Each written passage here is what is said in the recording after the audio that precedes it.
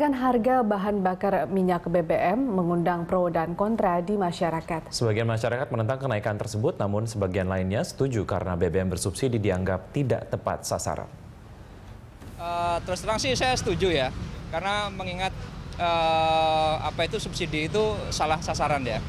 Karena kan menurut apa itu pengamat itu mengatakan bahwa itu untuk orang yang kaya. Dari pihak saya, saya mendukung program pemerintah. Berarti uh, setuju karena saya pikir gini, kalau kita sudah mempunyai uh, kendaraan, kita harus siap dengan segala konsekuensinya. Nah, kalau menurut saya ya kalau bisa BBM jangan naik. Karena itu kalau BBM naik jelas otomatis uh, harga semua juga ikut